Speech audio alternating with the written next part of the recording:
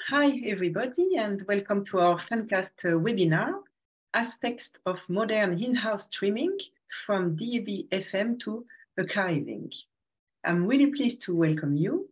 And also we are really pleased because today our webinar is live on LinkedIn in parallel for the first time. So that's a first.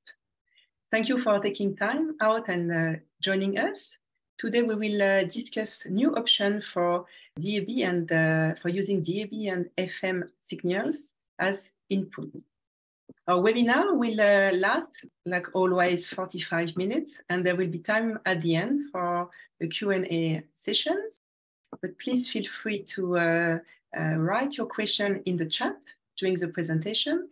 Um, we have some Ferncast uh, experts also today with us, and they, uh, they can answer the, the questions directly uh, in the chat. You will also get a chance to win a Ferncast t-shirt with our traditional quiz, so stay tuned. And last information, um, I will send uh, out the recording of this webinar to all the participants. Let me introduce you now the speakers of the day. Tobias Dornbusch, product expert at uh, Ferncast, and Bernd Geiser, senior audio engineer at Ferncast.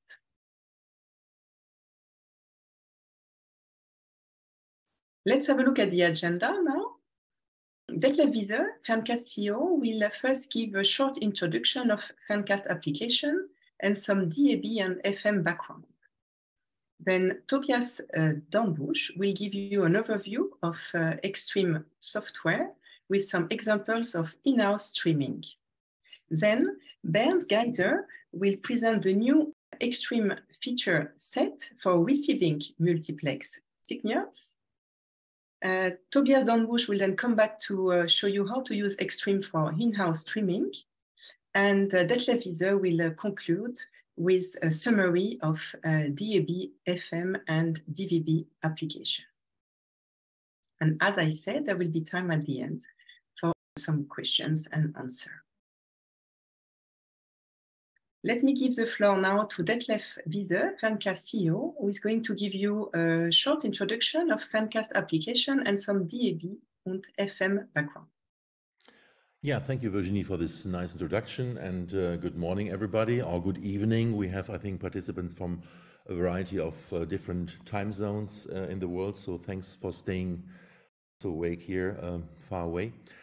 Yeah, just um, want to show you a bit about um, Ferncast, where we come from. So we started in 2018, four and a half years ago, with the main objective to develop software for 24/7 live radio, live audio applications first customer we had with um, Deutschlandradio and the streaming, and from there, really, we had the possibility to grow first in the German uh, market.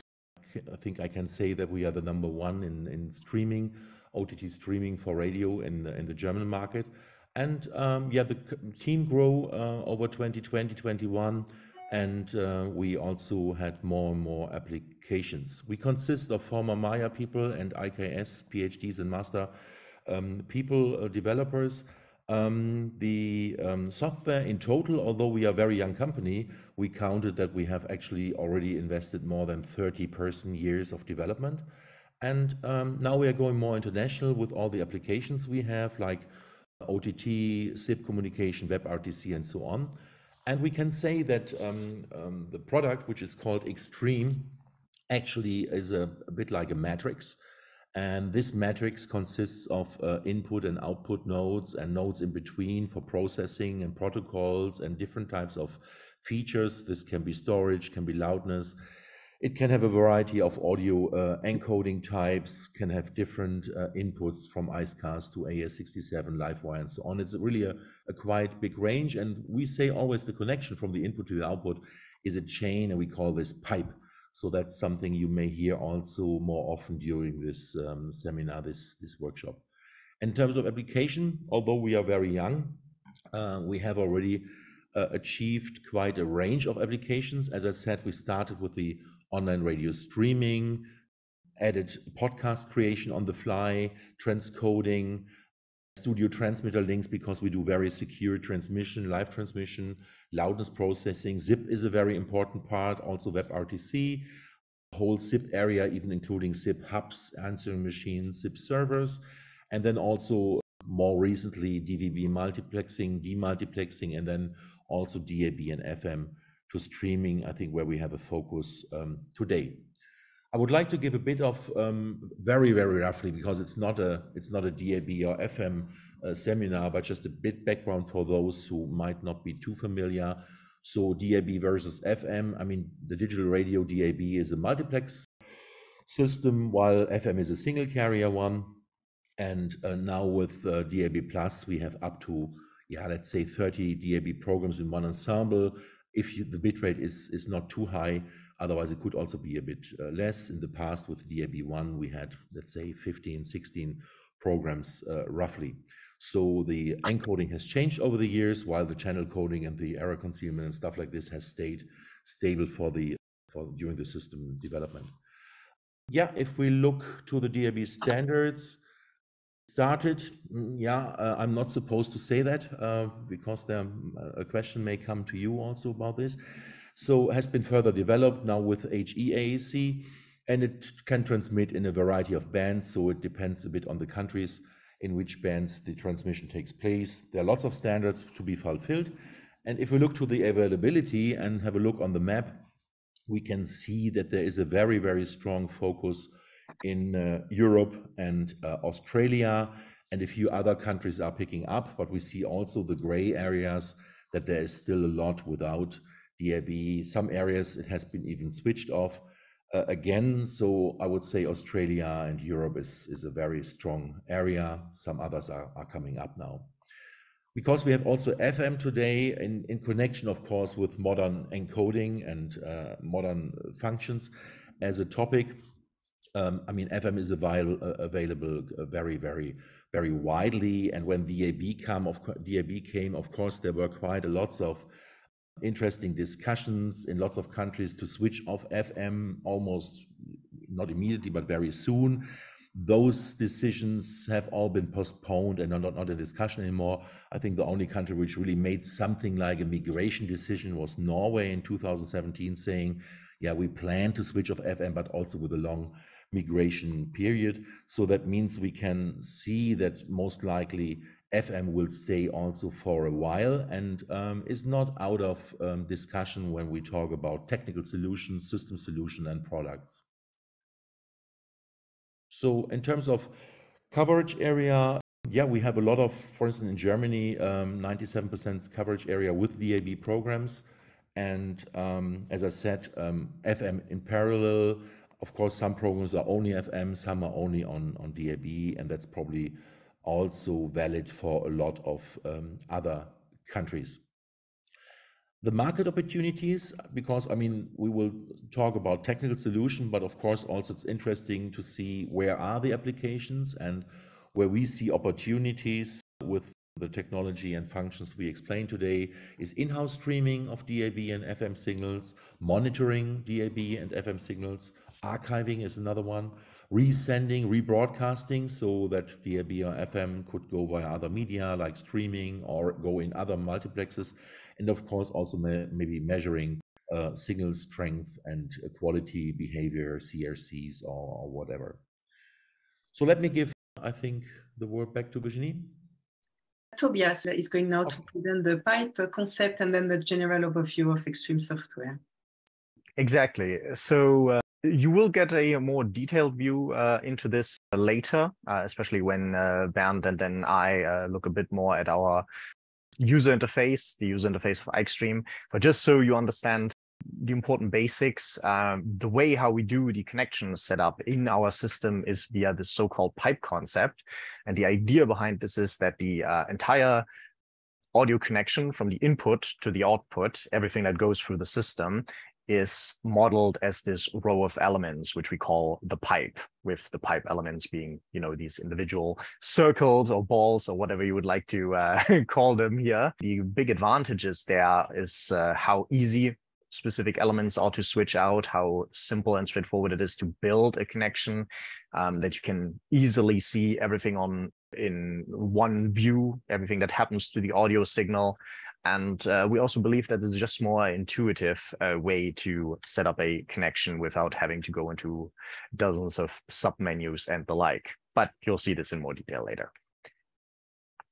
And next, I will take over here for a moment to show you a few examples of in-house streaming and uh, audio stream reuse. So of course, as we have uh, implied at the beginning, the focus is a little bit on uh, using DAB and FM as an input, but uh, in these examples that I will uh, present, um, we also will look at it a bit broader, uh, anything where any sort of application where you know you're streaming into your company environment, network, etc or where you're simply reusing audio content that uh, already exists in the wild, as it were. So these uh, examples are partially actual projects that we have done or are in the process of doing, but also some uh, general examples just to give you an idea how uh, these things may be relevant and things that we are in fact able to do with aixtream.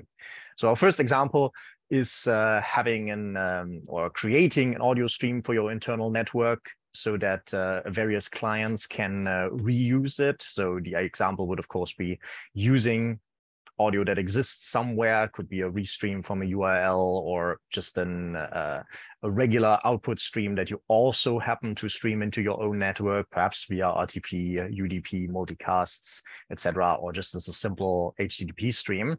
And then various clients uh, as part of your company or organization can use various programs or perhaps their own decoders, etc., to receive those streams and then do monitoring or um, reuse those signals in various ways. And of course, this could also be done with uh, multiple aixtream installations as well. And of course, this is also a way how to organize internal archiving, long-term storage, quality assurance, uh, future reuse of recordings, etc. A similar example would be uh, using audio, web audio that is already existing on the internet, um, and then streaming it into your own network. Here we have a fairly specific example where a, uh, a customer used, yeah, internet uh, audio, as I just said, took this into an um, internal demilitarized zone just for uh, safety purposes. They didn't want to just stream it directly into their network from the public internet.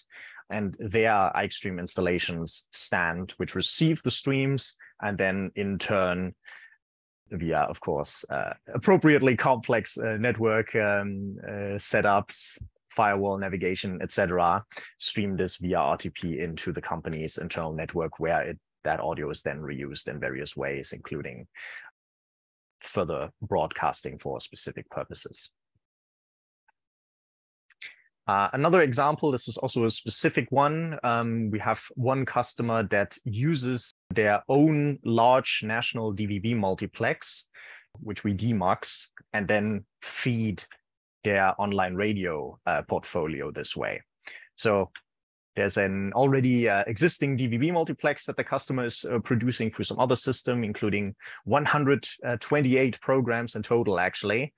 Uh, four of our systems demux this multiplex, embed partially new metadata, in some cases also transcode the audio into new bit rates and formats um, as the case may be. And then, of course, it is streamed to a CDN for output as uh, internet audio, Icecast, HLS, RTMP, Dash, basically everything you can imagine. And in fact, in total, this is uh, one of our biggest projects because if you account for all the different outputs, bit rates, etc., then we are arriving at like uh, uh, 1400 outputs in total.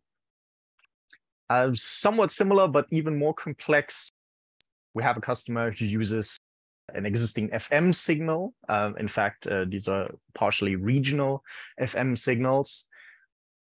Also adding some local uh, AES uh, EBU inputs um, from like reports, etc., um, to create an MPEG-TS for DVB compliant broadcasting. Uh, this is, in fact, nine different regions that are fed there the um, SRT is also used in some cases as an output, or the systems are set up to support this as well when the situation requires it.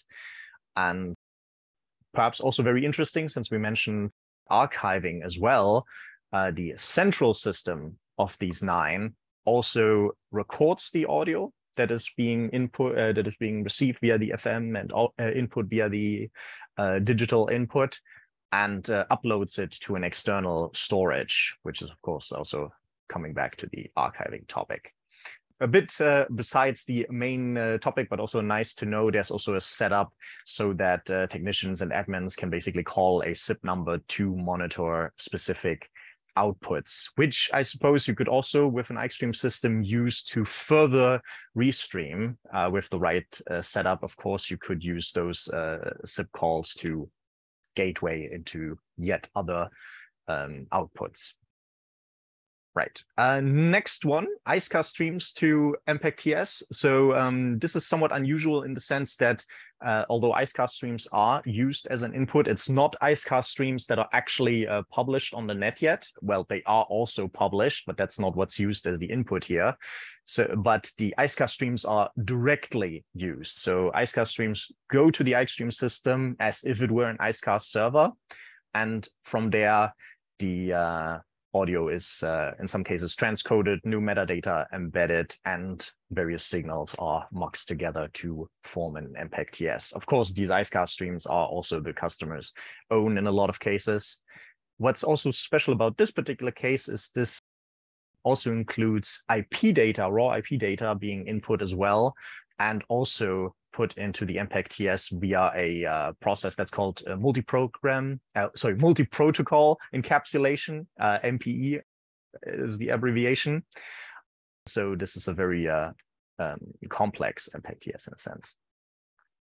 Obviously, also possibility DAB plus to MPEG-TS, very similar. You take a DAB ensemble or ensembles that exist on the air, demux them, and then remux them to for different purposes, for example, to create a DVB compliant MPEG-TS or any sort of uh, other input or output that you could be thinking of. Uh, and last but not least is one more example uh, using published audio so that some uh, already existing somewhere like a URL of web rate, uh, web audio or an existing DVB mux, using it as an input and streaming this to an internal yeah storage or an external so, uh, server, all for like quality assurance and control. So things like legal copy systems, etc.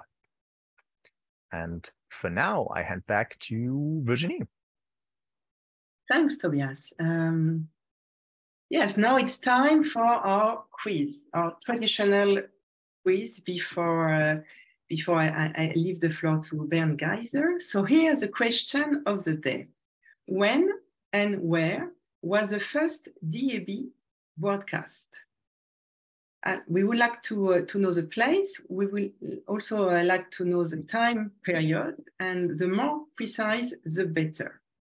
So you can, uh, please, you can write your answers in the chat, not to me, but to everybody. And the first one with the, the right uh, answer or the closest one will win then uh, a nice uh, Ferncast t-shirt.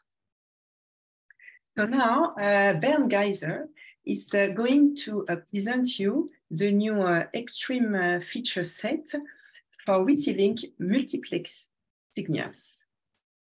Bernd, it's you now. Hello and welcome. Uh, so I'm going to tell you a little bit about new features we added for demultiplexing um, signals that are composed of, yeah, that are multiplex signals essentially, so composed of many audios. So um, this is where we came from, and we have seen it in a, in a previous slide.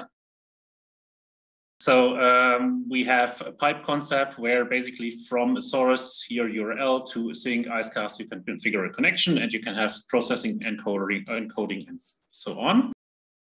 Um, but the previous concept was based on one audio source. So you could have a sound card, RTP stream, some something virtual which is rerouted inside the system, other stuff, and then the further processing.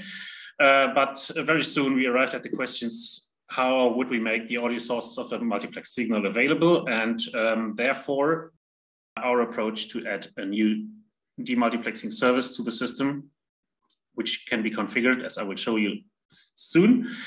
Um, here's a little screenshot so you can name your demultiplex and select the uh, input format and configure it. So there's a DMUX service that provides all the audio streams of the input multiplex. That is what you get. You get, if possible, metadata from your input multiplex and, if possible, status and monitoring information. Um, then once that is set up, you can actually move on to the left side and reuse uh, this within your usual pipes. So there's a new source element, which you call DMUX source, where you can easily access uh, the demultiplexed audio signal. Within this metadata inserter, you can easily access the uh, metadata that is demultiplexed from uh, your input, for example, DAB, and, and reuse it in your pipe then the status and monitoring data is gathered somewhere in a central place. I will show you. It's, it's in the monitoring tab of our interface. And based on that, you can, uh, which is a new feature, add configure data watches so you can get some alerting if something is wrong with this data. So, for example, the reception SNR of FM signal drops below a certain value. Okay, um, so a little bit on detail um, about the options we have this is um, the uh, DAB demultiplex. So currently our software supports three input formats. You can, for testing, stream from a local file in ETI format, which is the DAB signal essentially, or you can pick it up from um, the local network when it is streamed uh, inside it, or you can pick it up from the air, for example. So with uh, this DekTec receiver card, which is depicted here. So you can just plug an antenna and uh, uh, pick up the signal from the air. And with this option, the car is uh, directly supported by our software. You can receive the full ensemble and the metadata. And yeah, very soon we also will add quality monitoring and signal strength monitoring, CRC failures, and so on. And you will see that and be able to be alerted if something is wrong with that. Okay, the same goes for the impact TS or DVB use case. Currently, we have the local file and UDP input available, but a future option is, for example, ASI input, and you could use also DekTec card, uh, which is this one. Yeah, this option is currently, Tobias mentioned it, in use uh, in a big installation. So we have this 128 program uh, MPEG-TS signal, which we demultiplex and uh, use it for restreaming and uh, reformat into various other formats. Okay, then as far as FM is concerned, hardware option which we uh, actually offer by ourselves. So that's a thing we actually also developed by ourselves. So it's uh, called Fern FM. It's one height unit, uh, 19 inch unit, which has FM receiver cards that we developed so the options are that you can have one or two integrated, um, which amounts to four or eight FM channels. You can have the box as an integrated solution where there is a small PC, actually the Audio Codec Server Mini integrated running our software aixtream, or you can uh, optionally have that as an add-on solution, which has just the plain USB connection and you put it into your computer, which already runs our software. And then the device is automatically configure it and you can use it. Okay, um, now let me show you a little bit around how the whole thing is working. So I'm in the demultiplex menu, um, and here you see that I created a DAB example demultiplex. Um, you can give it a name. I selected the option that I want to input from this DekTec card. And all I have to do is select the specific card if I have multiple, and I select the DAB channel. It's uh, a 9B with this frequency here. And here you already see the identified channels that are on this.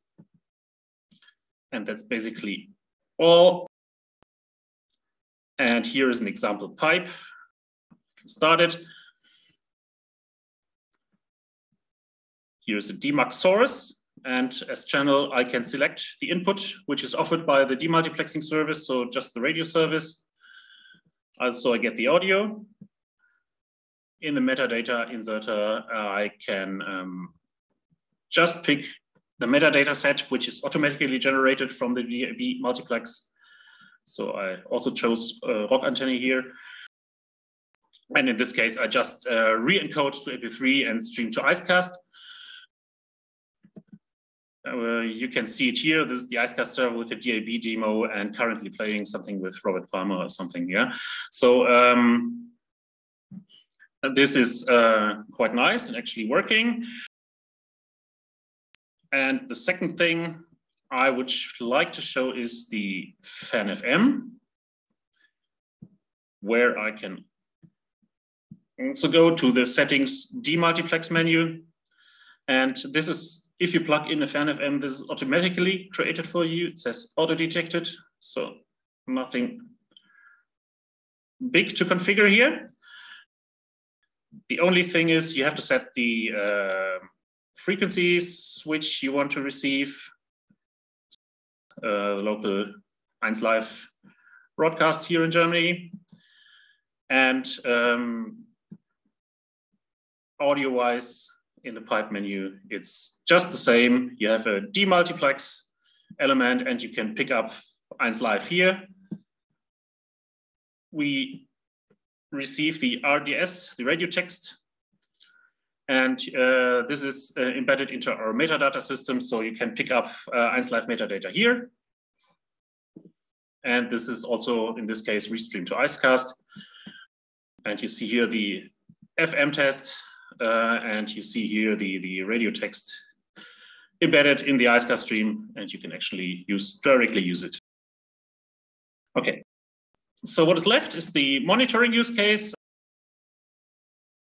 Let me go there. This is the monitoring menu, and there is a tab for each detected Fern FM and you see the history of the received SNR, which is actually very bad here because in our office, the reception condition is terrible. So it's SNR received signal strength, whether stereo could be decoded from the FM signal uh, if the RDS could be decoded.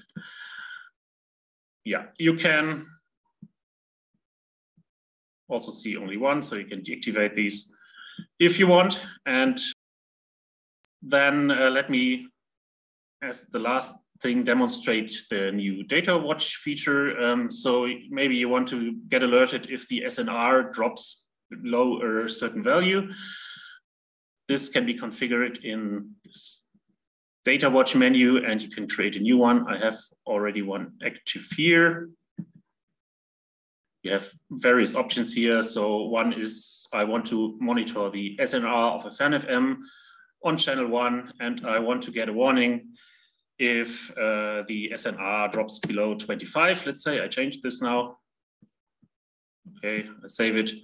And hopefully on the next update, we will see, receive an alert on this. And um, okay, usually it should appear should have tested the grace period is 30 seconds, so it takes some time. It may, may take some time. Yeah, whatever. So, but you get uh, get an alert there saying that the SNR is dropped and you can uh, even via our applet system configure what to do with this alert. So one option is that you get informed by email or something else. Yes, so uh, that's basically a short trip of everything we have done. Yeah, so there it is. It takes a little while. So you have see here that the Fern FM on channel 1 live has an SNR of 21 dB, which is lower than the threshold of 25 and it's yellow because it's a warning. Yeah, and this can be uh, taken further to email alerting or uh, external monitoring systems. We are cooperating with um, yeah several professional providers.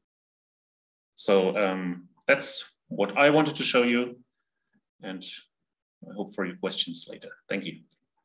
Thanks, Bernd. I think we already have one uh, question in, in the in the chat uh, from Enrico uh, Pietrosanti. Um, maybe Bernd, you could uh, answer. Uh, Tobias is go going now to show you uh, how to use aixtream software for in-house streaming. So here we are. So yes, um, in this part, I will give you a, a bit more of a general overview of aixtream on one hand, and also give you a few more examples of uh, how to use aixtream for in-house streaming, reusing signals, um, etc. So a little bit broader than what uh, Bernd just showed. The, the basic concept behind the pipes I've already explained earlier, but just as a quick uh, rehash here. So with this one example that we already see here, there's an uh, audio input, maybe an analog or a digital audio interface connected. Um, volume control is enabled, the level is measured, uh, it is MP3 encoded and then sent out as an IceCast stream. And on the same principle of seeing everything that happens to the audio signal, every kind of uh, pipe can be configured. So to give you one specific example, I had an idea that we could consider a situation much like the last example that I had in the uh, slides earlier, so that you use a URL that uh, already exists on the web and use this as an input for uh, archiving. So in this case, this would be a URL source. Obviously, the IceCast stream exists somewhere on the internet and can be referenced by its URL. You want the, uh, the level to be measured, the volume, maybe you still want to be able to control it, although it's meant for archiving, but let's just assume so. Let's say you're encoding it AAC, and then you would have a file sink, which is of course the, the recorder in the end. And let's say you also want to back up it to a separate system. And just for the sake of argument, assume we're also going to assume you even want it to be encrypted because security is uh, a, a major concern for you. Then you would have the encryption here, and then the archive upload would be uploading this thing that you have just recorded to an external system. So this is the basic setup. And now the detailed configuration could be done by simply clicking on an element and doing whatever uh, configuration is necessary there. So for example, in the URL element, you would of course define where the URL can be found, whether the stream is that is supposed to be used as an input. In the encoder, of course, you could set things like bitrate, etc. In the file sink, you would set things like the, uh, obviously the name or names of the files that you're writing uh, there's actually uh, multiple kinds of uh, placeholders that uh, can be used so that the system can automatically fill in changing um, yeah, words based on things like timestamp, uh, stream IDs, or specific tags in the metadata if available. Encryption is, of course, uh, where you could uh, then set up an encryption key. Uh, GPG is what we support in that regard. And then with the archive upload, you set the protocol, the transport protocol for the upload, and of course, where it's supposed to be uploaded to. So this would be a basic example of how to set up a pipe as I said, for a sort of a restreaming use case. But as you can see here, if you uh, take a look at the um, very broad selection of uh, different sources, that's of course the purple elements, uh, audio processing, red and blue here, uh, encoding, that's of course uh, yellow, and then these things are the various destinations and outputs and so on. So looking at this, you can of course imagine that uh, a great number of use cases are possible uh, and especially with the um, reuse of streams, you can set up very uh, yeah complex scenarios, especially since all the sources and things are fully cross-compatible. So no matter what kind of source you're using, almost every output or sink in that case uh, would be possible to combine with that. So this way you can also save up on uh, adapters and converters, etc. in a in a lot of cases assuming, of course, the base hardware on which aixtream is running has the necessary inputs and outputs accordingly, of course. To make this a little bit more interesting, I would like to show you what could look like if you wanted to combine this uh, file streaming with, uh, or this file creation, I should say, with also creating an RTP stream that clients in your internal network could be listening into. So to do so, we're going to take these out and instead replace it with an audio sink. Now, have to take also out the encoder there, as the warning rightly tells me. Now, by default, this would be for a um, for a situation where you're simply outputting the audio via via an audio interface, of course. However, we have a function that's called virtual ports. And um, the way how you can imagine the virtual ports is that they essentially uh, function a bit like a virtual audio card. The idea is that any signal that is streamed to these virtual ports can then be reused by reusing those virtual ports as uh, inputs for other pipes. So there's actually a few already prepared on the system. I'm just going to say this stereo channel that we called uh, test left and right is the output for this. So what's streamed here is going here. And then this was new pipe 17. Then we use these virtual ports, so test L, test right, um, as input for, first up, the um, RTP signal that I uh, just described. So of course, in this case, you would um, set the uh, port and destination for the RTP stream. Either you're streaming to a specific uh, system where someone can listen to it, or maybe you're using uh, multicast to, of course, uh, stream it to a variety of systems, especially useful if you want to have multiple clients listen to it. And then we just clone this, and then we append our, um, you know, the file setup that we just had. And this way, if now all three pipes are running, we can reuse this signal both for the RTP uh, in-house um, system and also do a file recording and also upload it to a separate backup system. And of course, you could reuse the virtual ports uh, even more times to produce even more different outputs. So this way you can uh, cover a lot of different outputs with just one system and still have fairly precise control about uh, over each of those individual outputs.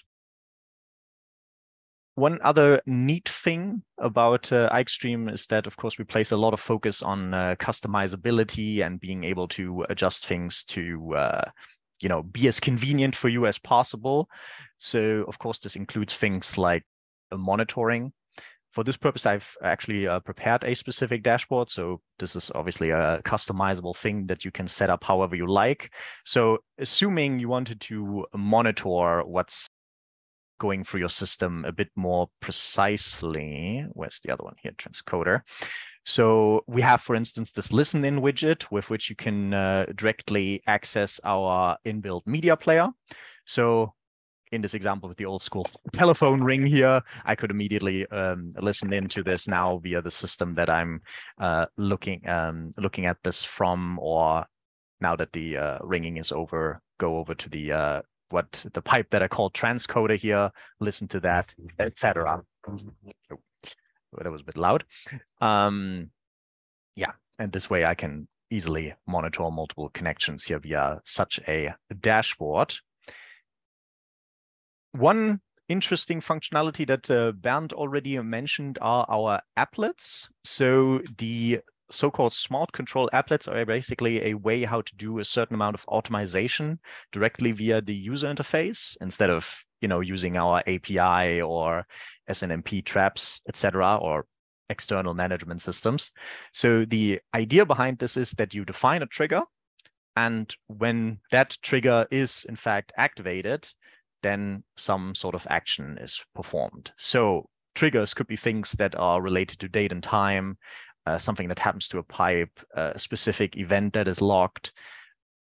Quick actions is something very specific, uh, not the topic today, but also a very cool feature, certain alarms that are given out, etc. So as one example, you could say that uh, every day at a specific time, for example, a message is sent or a, a pipe is activated.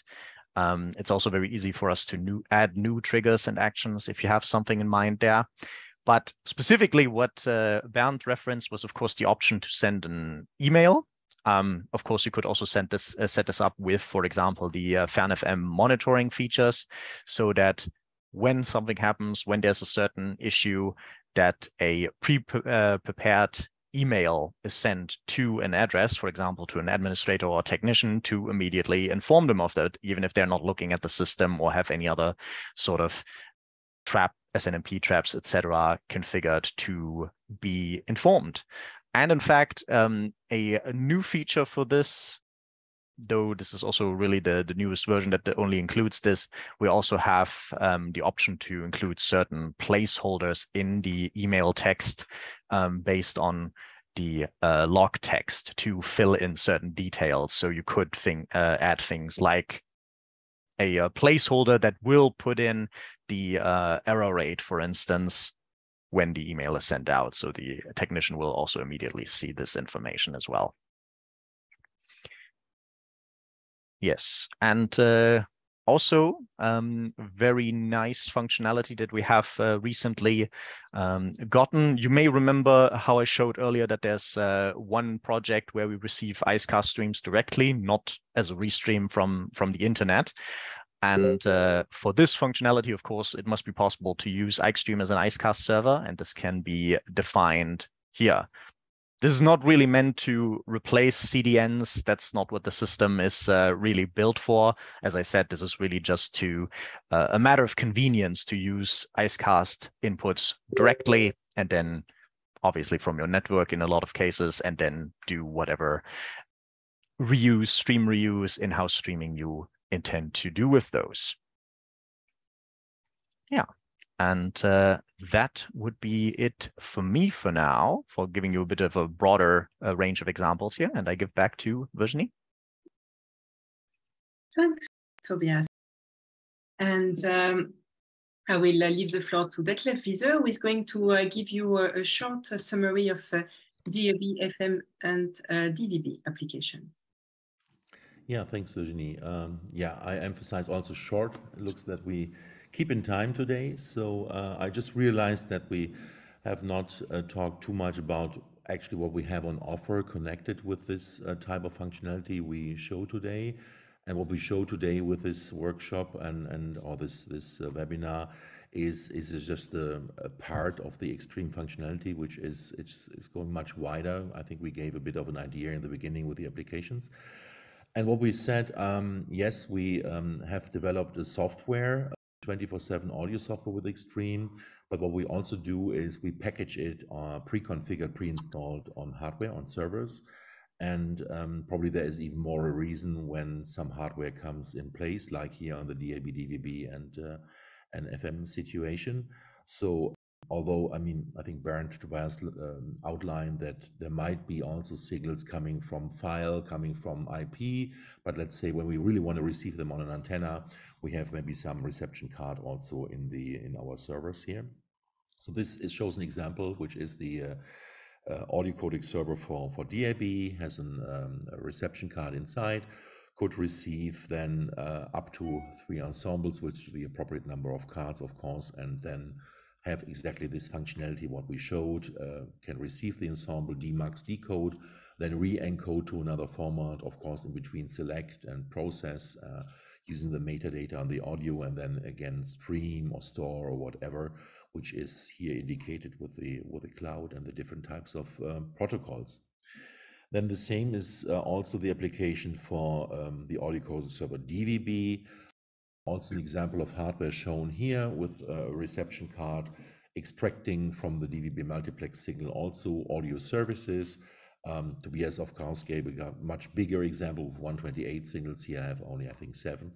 Um, demux decode and the same select process um, metadata plus audio encode and having um, certain formats giving it to the cloud or storage or whatever um, purposes. That's that's the application for the DVB. And then for the FM, also showing the appropriate hardware. So we have the FM receiver, could be four or eight, or even depending if there are multiple uh, Fern FM more channels going into USB on our uh, audio codec server here. In this example, it's a mini, a very small device, and then again, uh, a certain set of programs could then be uh, rebroadcasted and reprocessed.